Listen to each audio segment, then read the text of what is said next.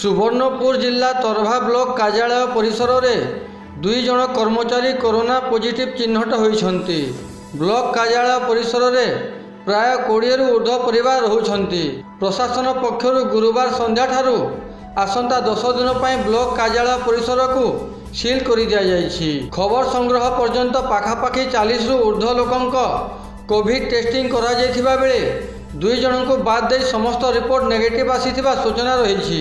ପ୍ରକାଶ ଥାଉ ଯେ ତରଭା ସହରରେ ଗତ କିଛି ଦିନ ମଧ୍ୟରେ ଗୋଟିଏ ପରିବାରର ସାତ ଜଣ କରୋନା ପଜିଟିଭ ଚିହ୍ନଟ କରାଯାଇଥିଲା। ଅଗ୍ନିଶମ ବିଭାଗ ଦ୍ୱାରା ସହରକୁ ସାନିଟାଇଜ କରାଯାଇଛି।